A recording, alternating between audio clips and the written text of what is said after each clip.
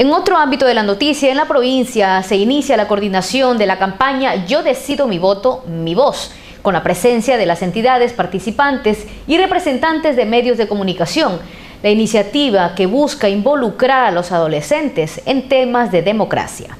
Jorge Dávila Herrera, director de la Delegación Provincial Electoral de El Oro, manifestó que el CNE realizó un convenio con el Consejo Nacional de Igualdades Intergeneracional y con el Ministerio de Educación. Por lo tanto, se coordinaron acciones con el Ministerio de Inclusión Económica y Social para emprender la campaña Yo decido mi voto, mi voz. Recordemos que la campaña que, estamos, que está impulsando el Consejo Nacional Electoral eh, es para impulsar el voto facultativo de jóvenes eh, más que todo jóvenes de colegio que están entre el rango de, de 16 hasta antes de los 18 años y también pues con lo que corresponde al MIES trabajar con lo que son las personas con discapacidad y los adultos mayores. Eso queremos eh, impulsar eh, en estos tres meses que quedan de, campaña para poder tratar de elevar los índices de los índices de voto de, esta, de, este, de este segmento de personas que son las que tienen el voto facultativo.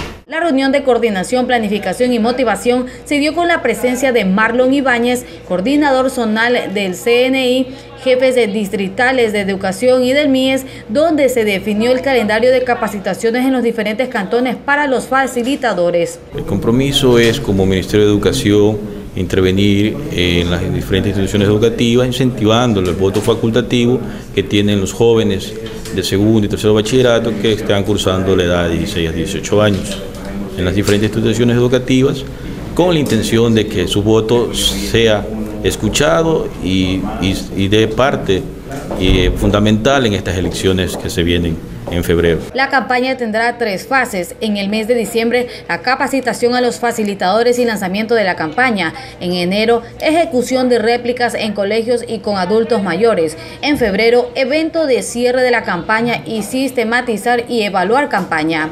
Marta Contento, Noticiero TV Oro.